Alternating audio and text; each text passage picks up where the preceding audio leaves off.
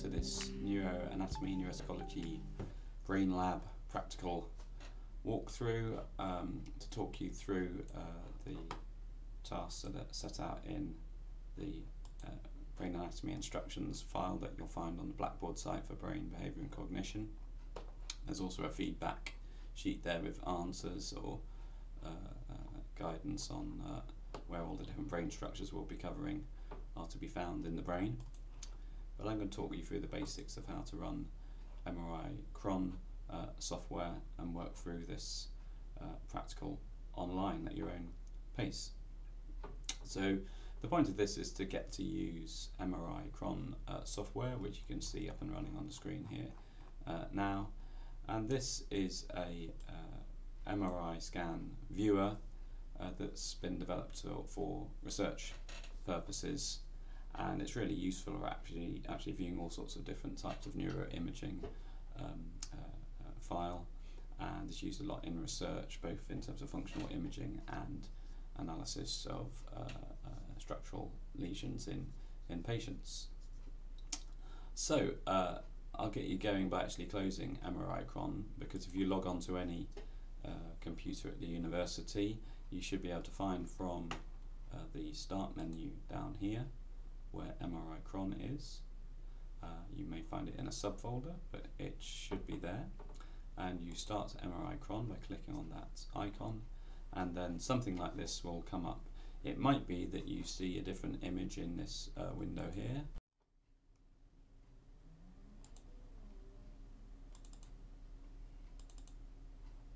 A bit like that, for example. Okay. Uh, well, uh, don't worry, it's just somebody's been messing around and opening the wrong file. If you actually open the file that's called ch2.nii.gz, that would be the one that we're starting off with. Um, okay, so all of these files are on a networked drive where you'll find the MRI uh, program here.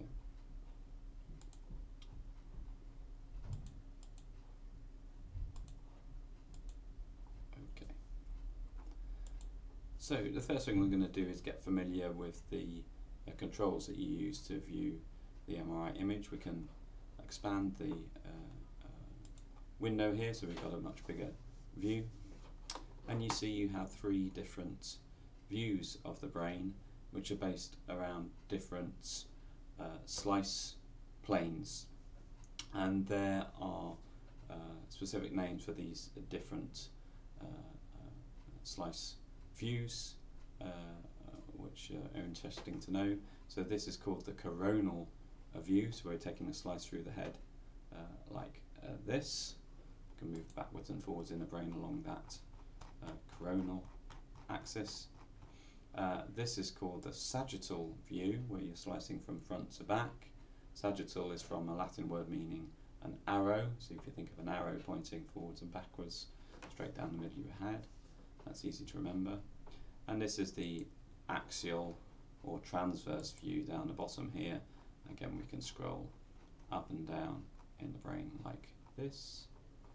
MRIcron has buttons up here to allow you to add uh, a crosshair so you can see exactly where you are. So as I move up and down on the transverse view, you can see the crosshairs going up and down or uh, backwards and forwards. Can turn that off now. Now I've given you a, a worksheet on uh, Blackboard to, to, to, to, go through some basic tasks that we're going to do in this uh, practical. And uh, the first one is to familiarise yourself with these controls. Uh, but we're also going to use some drawing tools within MRIcron to highlight particular structures in the uh, brain. And these are these buttons up here. So you can see uh, this paintbrush with a a line on it, it allows you to draw on the MRI scan and highlight particular areas. Uh, so I'll demonstrate that now if we click here. Uh, I'll find a structure to highlight. This is one of the ones we'll be covering later. This is the thalamus and I'll draw around it on the sagittal view here. It's a little bit fiddly and you can use that fill tool to uh, blank out the whole area in between.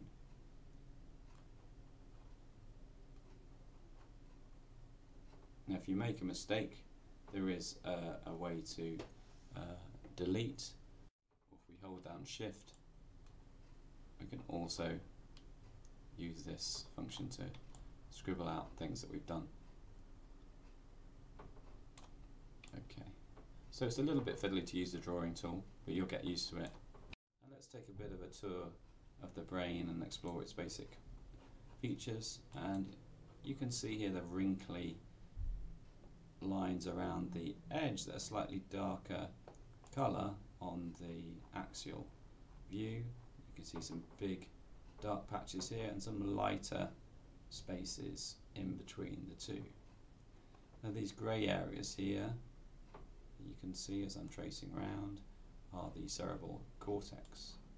And the white areas underneath that grey line are actually where uh, the axons, the connections between particular nerve cells are connecting different areas of the cerebral cortex and uh, connecting the cerebral cortex with input and output to other brain areas, sensory organs, uh, uh, organs controlling movement, muscles, etc. If we go right down to the bottom here, you'll see the eyeballs, and we can scroll up through the brain here. We start to see part of the temporal lobes of the cerebral cortex here, the frontal cortex, the orbital frontal cortex just above the eyes scrolling all the way back up and you'll see as you come back up the brain there are some other areas of what we call grey matter deep down in the brain embedded within the white matter that you see all around it. And these seem to be separate and discrete from the rest of the cerebral cortex above. And we identify these as subcortical structures is what we call them, as opposed to the cortical uh, uh, structures and areas in the cerebral cortex, which is the wrinkly, crinkly stuff at the top here. So one of the questions in the worksheet is why uh, the uh, white matter is white, why these connections areas here showing up as they are. Of course you can't see the individual fibres here, they're far too small but all of those fibres are surrounded by this fatty sheath of oligodendrocytes and that facilitates conduction of the action potential signals between uh, neurons. And this type of MRI scan, which is a T1 MRI scan, uh, fatty stuff shows up bright and uh, white, and the more fluid or water there is there, the darker it's going to be. So generally the whiter stuff is fat and the um, dark black stuff is uh, fluid. So going up to our instruction sheet, we're now on to the bit where we're going to do some drawing around different uh, brain areas.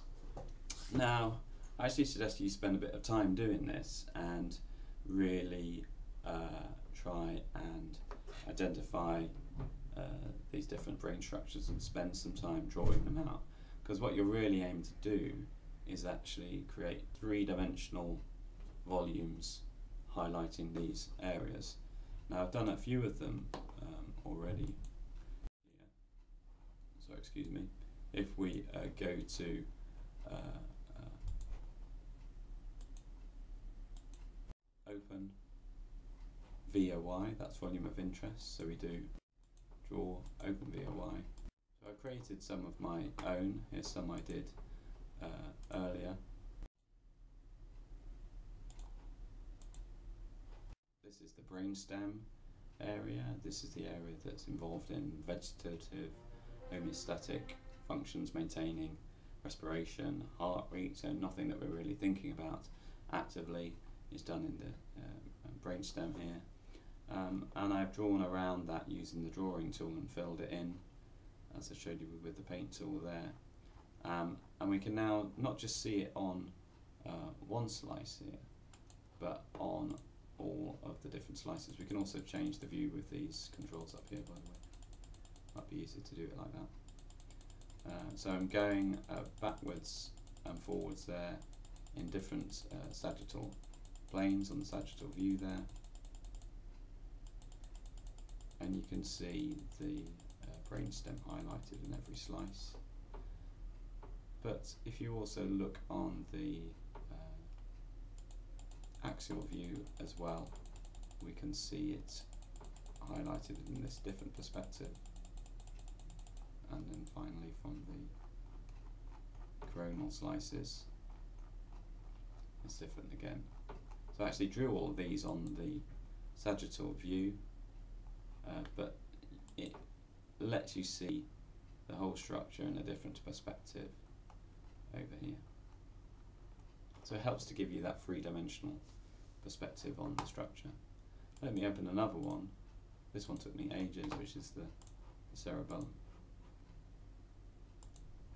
Okay, so now I've highlighted, I just did one side of the cerebellum and I drew it out over here on the uh, sagittal view and of course this takes quite a lot of time with all the wrinkly uh, crinkly bits. But the process of me doing it I really learned a lot about how the cerebellum is uh, uh put together.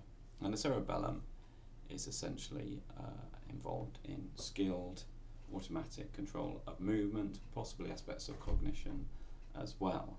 But it actually contains uh, almost half the brain cells in the whole uh, nervous system. It's kind of like a spare brain on the back of our our, our main brain, the cerebral cortex, and it, it, in fact, it's much overlooked in neuroscience and cognitive neuroscience in terms of its importance. And actually, uh, taking the opportunity to um, highlight the whole of the cerebellum using the drawing tool really makes you think about how important it is and what a complicated uh, structure it is.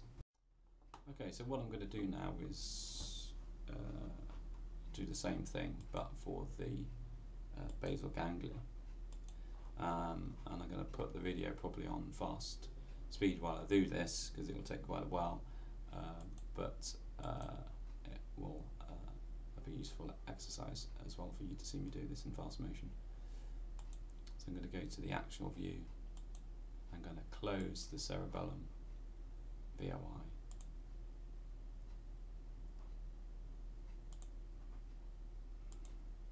and then I'm going to create a, a, a, new one here for the uh, basal ganglia, which are these areas of dark grey matter you can see uh, buried inside the uh, cerebral cortex. And this front bit here is the caudate, and this is the putamen. But what's going to be interesting to see is how these actually uh, vary, uh, how these sort of build together into a 3D picture when we uh, highlight them using the volume of interest uh, drawing tool and help you understand how they all fit together. So I'm going to start from this slice, slice here and we'll go into to, to super fast speed now.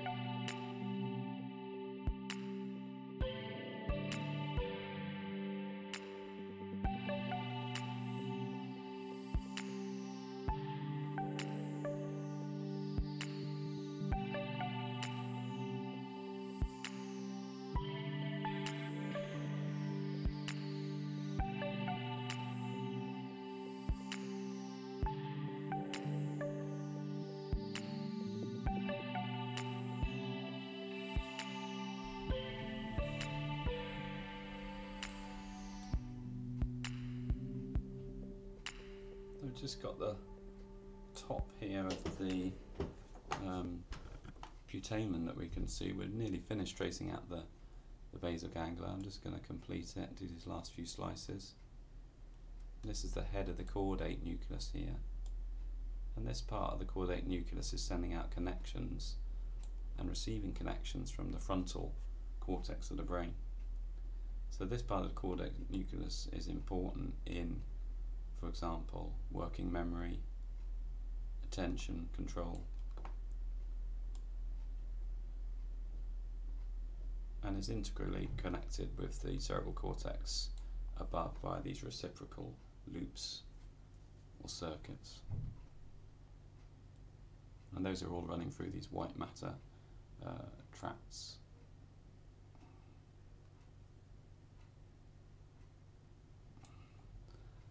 Conditions where the striatum, the function of the striatum is affected include Parkinson's disease, uh, where there's a loss of dopamine in the striatum and the uh, caudate, and that leads to both the motor and the cognitive symptoms associated with Parkinson's, and Huntington's disease as well, where you're actually getting degeneration of the caudate nucleus itself, leading to more profound and rapid uh, cognitive impairment in, uh, in that condition. I'll do a couple more slices.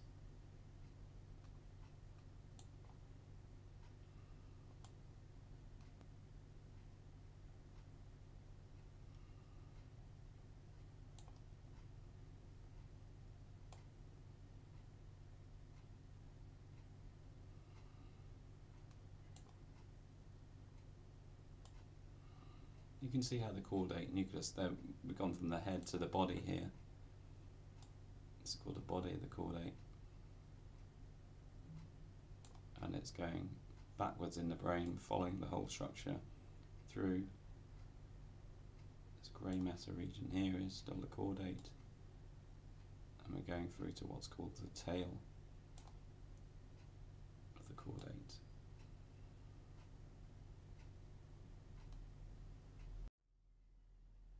Okay, we'll finish it there. Um, now, we'll be able to see on the other slice views what we've actually done. This is where it gets interesting. So of course it's sort of bitty like this because we've been tracing it on the axial view. Uh, so when you look at it on the other views it's a bit fragmented but you can see it does sort of help you start to get a 3D picture of these structures and how the axial converts onto these other views. Now what would even help that even more if we use the fill tool here just to, to block these out now we finish drawing them. This won't take long, but I'll put it on high speed while I do. Ah! Okay, so if that happens, just undo.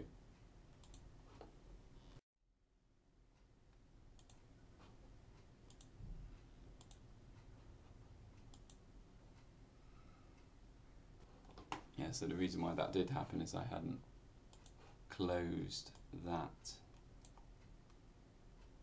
region of interest there.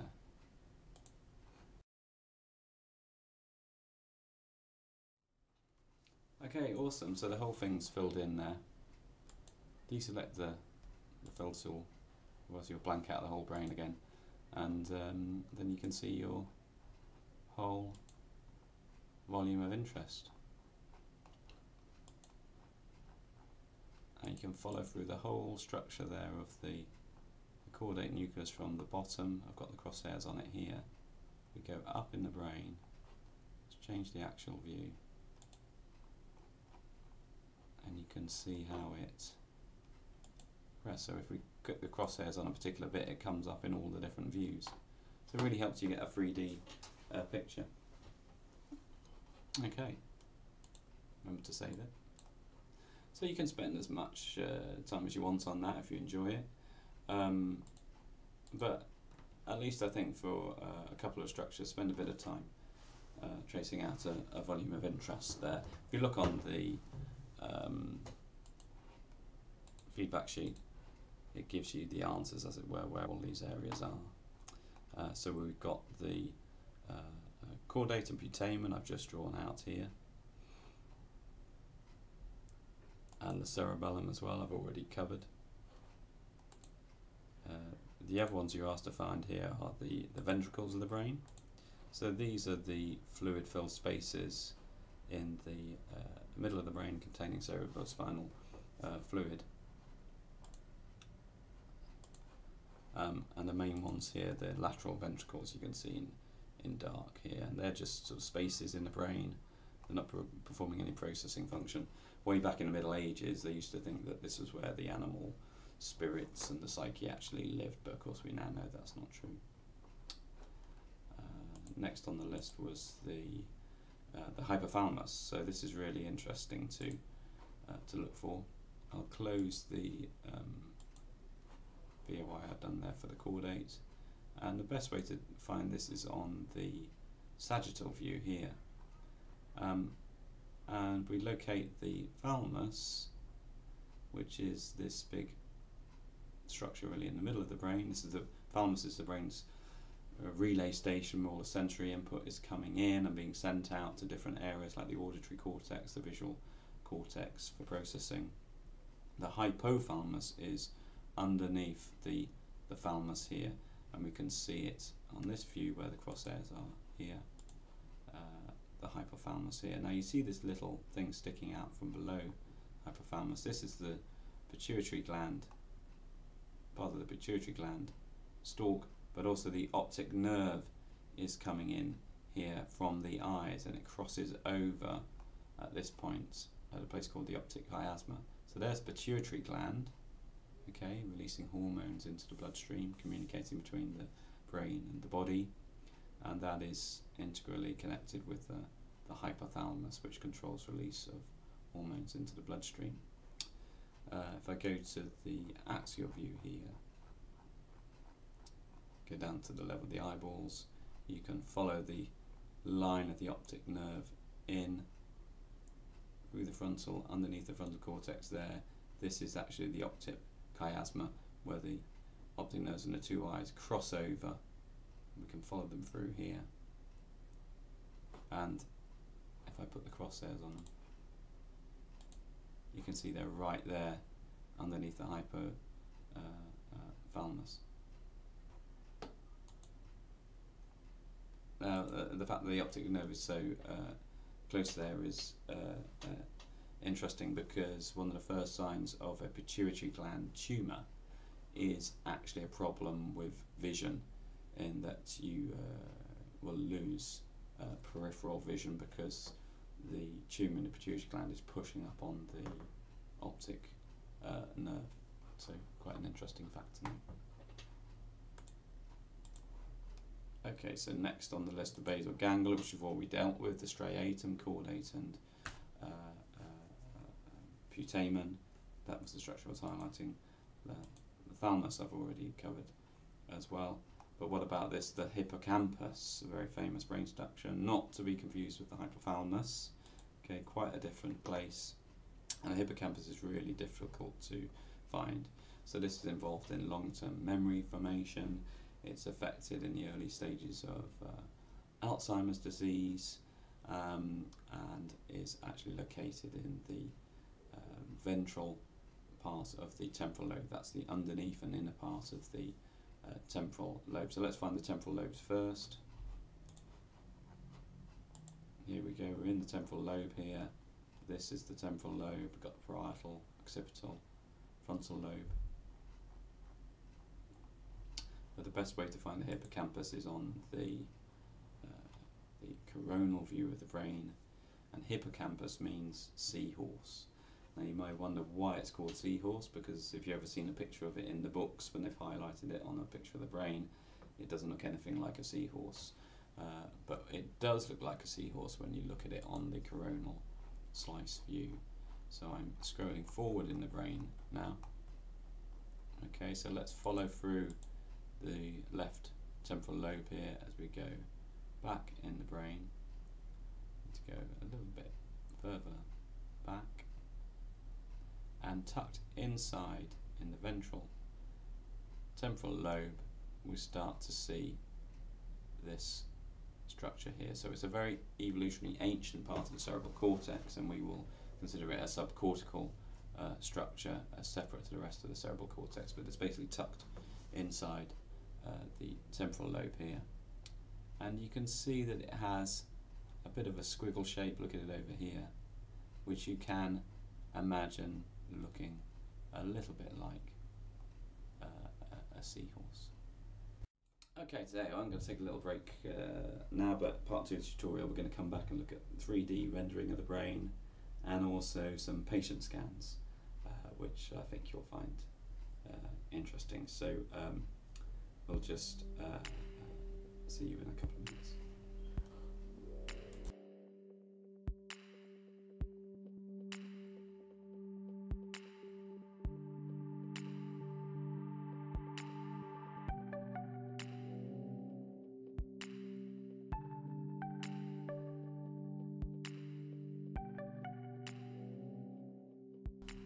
Uh, welcome back to the second part of this neuroscience, neuropsychology, brain lab, practical online uh, tutorial seminar. And in this part, we'll be looking at the brain scan in 3D, so we can look at structures on the surface of the brain uh, as opposed to the subcortical structures we were looking at in the first part, and also looking at uh, scans of patients that have had neurological injury and uh, caused by different reasons and um, seeing how that affects their, their brain scans. So uh, just before I move on to that, in the first part we were looking at subcortical structures and I noticed there's a structure here on the feedback sheet that I didn't talk about, the uh, amygdala, which is quite a famous structure in the brain is uh, known to be involved in emotional processing, rapid response to uh, fear-inducing stimuli, uh, for example. And I thought I'd just show you where that is in the brain before we uh, move on. Uh, so going back to MRI chron here, uh, if you look where the crosshairs are here, we're in the tip of the temporal lobe of the cerebral cortex and if we make our way uh, back in the brain from the th front here, which I'm scrolling through on the uh, coronal view, you'll start to see, not far from where uh, I highlighted the hippocampus, a bit further forward than that, uh, this dark blob here, which you can see is sort of part of the temporal lobe that's tucked underneath and inside the brain. But as with the hippocampus, it's an evolutionary ancient part of the cerebral cortex, uh, one of the first to develop uh, in evolution, and that is uh, what we call the amygdala, this dark uh, blob here on the left and the right. You can draw a, a volume of interest around it if you wish. I'm going to do here. I'm not going to do it for every uh, slice, uh, but you can see it's a. If you chopped it out, the brain, it would have a sort of almond shape to it.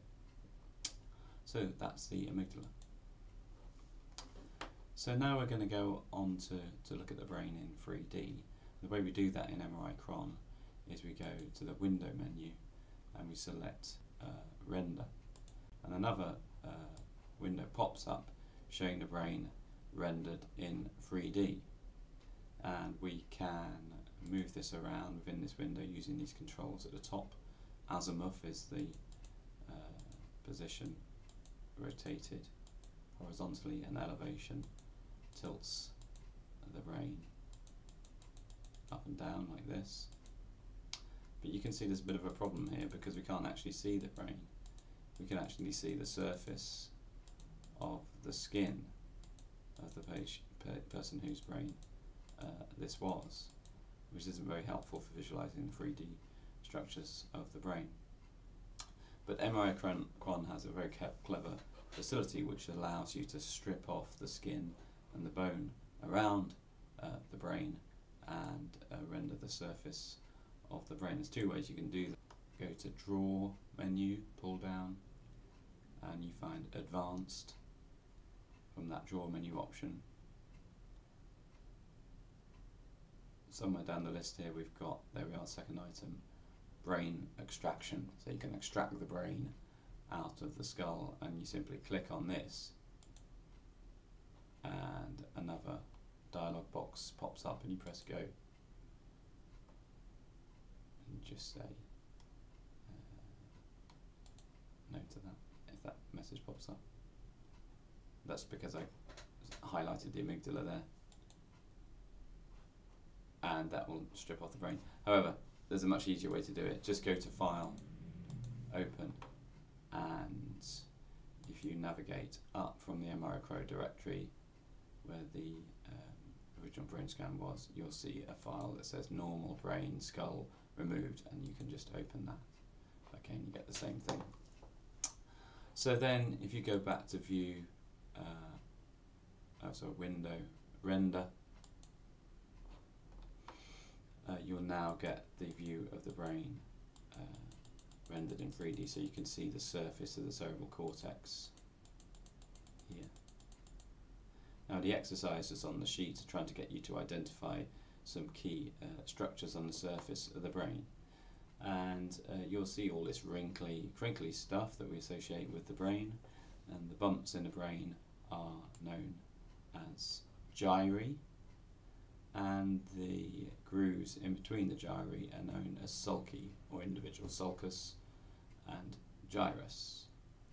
And although they look fairly random in the way they're uh, distributed across the surfaces of the brain, in fact there is individual variation in the pattern of sulci and gyri that our brains have, there seem to be some key uh, sulci and gyri that we can identify in the majority of brains. Um, and some key landmarks here would be the Sylvian fissure here, which is dividing the temporal lobe of the cerebral cortex from the frontal and parietal lobe. If I elevate the brain here, you can see the big groove between the two cerebral hem hemispheres central fissure, this is called. And of course we have two brains, two halves of the brain, which are connected by uh, a big fibre tract called the corpus callosum, which uh, you should be able to identify in the, the main scan.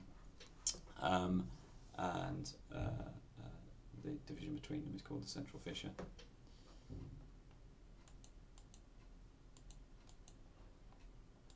I'll get to that cutout in a minute, uh, but I'll remove that cut out for the pur purposes of this description. So it's a bit fiddly this, but uh, you'll get used to these controls at the top to spin the brain round. Just play. If you look at the lateral surface of the brain here, uh, you can identify a key landmark on the surface of the brain, which is up divides the frontal from the parietal lobe, and this is the central sulcus and I'll just uh, run my the crosshairs through on this now. You can see what's quite cool is it highlights it on the sectional view as you click on the rendered view there. So this is the central sulcus and just forward of this or anterior to this in the technical jargon is the motor cortex. So this is the area where there is a map of the the body which relates to movement of the different limbs and parts of the body.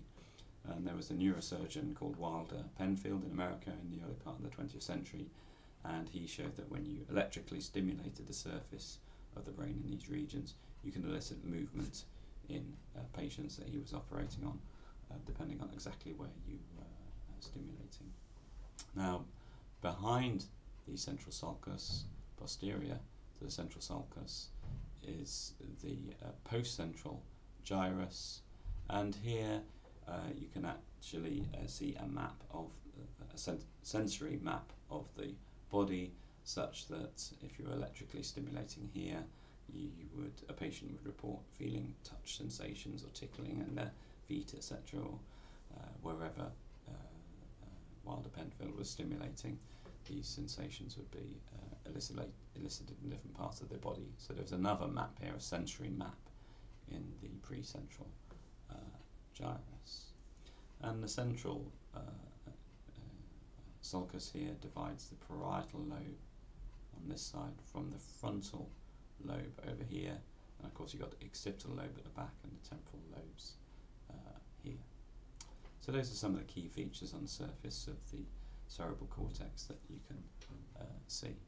So the last part of this uh, uh, Brain Lab practical is going to look at some brains that are actually uh, uh, uh, damaged and we will be able to match the patients up to the little case study story they're going to show you in the next part of the video.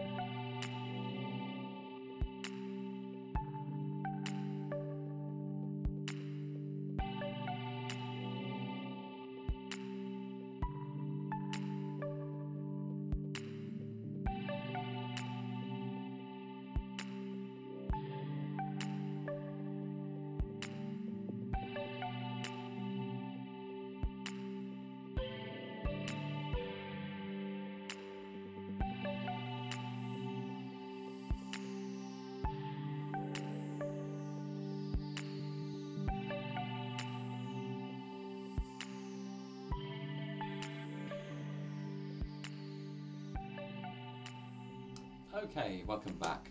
So now we're going to take a look at those patient scans that are in the MRI folder on the network. So if you go to MRIcron and go to File, Open, put my glasses back on. Uh, let's start with patient one. Okay. Um, and uh, we can scroll around here on the, the scan. You can see it looks a bit different generally to the uh, normal brain scan we were looking at. The, the one we're exploring is, is kind of perfectly lined up in the frame. It's a really good quality scan. Often with these clinical scans, they're not quite as good, it's not done on quite as good a, a MRI scanner, and the alignment on it was not done uh, quite so well. So that's why this looks a bit sort of wonky, uh, and the uh, the contrast is, is slightly different.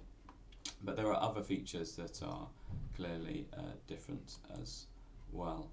And um, what I really try to do is say look for differences in symmetry in the scan between the left and right half, but also between the front and the the back. And we're looking for any obvious big holes that one might see in the in the in the in the brain.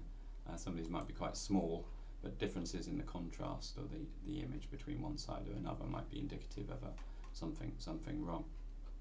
Now in this case with patient 1, actually if we look where the crosses are now, uh, you can see there is a bit of a difference here right at the front of the brain and there's this black space here and in fact this was where this person suffered quite a nasty uh, motorcycle accident injury uh, way back when he was very young. I think this guy was in his uh, 60s or 70s when this scan was taken, uh, but uh, you can still see the damage that was done to his brain when he had this Phineas Gage type accident whereby he was his head was impaled on a on an iron railing when he came off his motorbike. But he survived, healthy and well, uh, uh, and no obvious cognitive or emotional problems in, in his case, uh, but he still has this, this lesion in the front of his brain. And in fact, if you, if you really look closely and look, use your imagination, I think you can almost see the, the cross-sectional shape of the, the diamond shape of the, the iron, iron railing, which would have uh, gone through his head there. So quite a gruesome that uh, one that, but that's uh, patient one. Patient two Okay. So again, the general sort of shape of the brain looks different to the idealized scan we were looking at, but people's heads are different, different shapes and sizes. And in this case, what's happened is that the orientation of the scan has been done uh, uh, not uh, according to the standard orientation. You can see the person in the scanner has has moved their head uh, quite a bit. But uh, that's okay as long as you're aware that these things can make a big difference to how the axial and the coronal slices look, so you have to be aware of that. But again, we're looking for differences left and right. I can already see here, you see these black spots here in the subcortical areas. I think they're actually blood vessels, but uh, there's unusually large amount of space around them. Um, but if we go higher up, I think we'll see something more pronounced, which is this area over here. And this is the, the scar or the area of damage that's been left by a, uh, a stroke.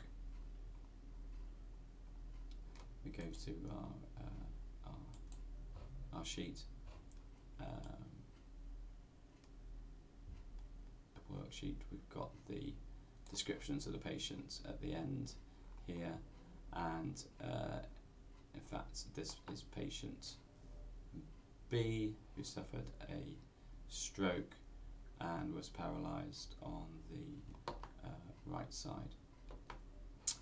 Um, and in fact the way uh, scans are sometimes presented particularly in a clinical uh, hospital concept, is with the left and right flipped over. This is for historical reasons because neurologists would hold up a scan image in front of a patient and they wanted the right of their image to be on the right side of the patient as they looked from the end of the bed. Um, so in fact this is a left-sided stroke here in the frontoparietal uh, region. So we'll look at it on the uh, other view to it, you can see it uh, here. And this is a very common type of injury arising from stroke. There's a big blood vessel called a middle cerebral artery which supplies oxygen to the whole large area of the brain and uh, often this gets blocked and will lead to uh, this area of the brain being starved of blood supply and oxygen and the brain tissue in this area will die. So that is quite a small, well-defined area of, of, damage following a stroke. Often it can be much, much uh, larger in scale, but also can be can be smaller too. Okay, the last one I've got here is patient three. Okay, again there's some problems with the arrangement of the scan here. Something's happened odd in the scanner here where the image is wrapped around so this actually should be over here. Something's got a bit corrupted in the, the file. Uh, so you have to live with these things. But um, we can look at the brain by scrolling on the axial view or on the sagittal view here. Now, there are asymmetries here you can see on the axial scan, the ventricles here. And in fact, you've got to be aware that the whole scan here has been um, taken at a bit of an angle. So I think that's what's causing those apparent asymmetries. Uh, but what I'm saying here is the pattern of sulci and gyri being very, very pronounced and accentuated compared to what you'd see, for example, if we go back to our normal scan. Uh, where they're very tightly packed uh, together. So as we get older, it's normal to see a bit more uh, definition on the sulci and gyri as the brain tissue atrophies or, or shrinks a bit, just as other parts of our body are sort of getting wrinkly and shrinky. Um, uh, but in this case, this is not a normal amount of brain atrophy. And I think if you can see, if you look at the back of the brain here, relative to the front, so an asymmetry along the front and the, the back axis, there's more of this going on in the front relative to back. So this is our uh, frontal temporal dementia patient that is described in the uh, worksheet where you've got localized uh, um, degeneration of brain uh, tissue in the frontal and temporal lobe, which can lead to um, semantic type uh, dementia. Okay, so I'm going to leave you there and leave you to your own devices where you can actually have have have some fun, perhaps playing around with um, MRIcron. You've got various different uh, color schemes you can uh, um, uh, create. Perhaps you want to email me um, pictures of, uh, of images you created using MRIcron. You can save the output as an image file uh, uh, and print off pictures of brains and stick them on your uh, wall. Um, so feel free to, to play around with it in whatever way uh, you would uh, you would like. So I hope you've uh, got something out of that and found that interesting. Please feel free to email me. The details will come up again in a minute. If you have any uh, technical glitches in getting MRI uh, Cron to run, I'm more than happy to advise or help you. Otherwise, um, thanks again to um, Chris Rorden who invented MRIcron and makes it freely available to everybody. Uh, and uh, I will um, see you around. See you.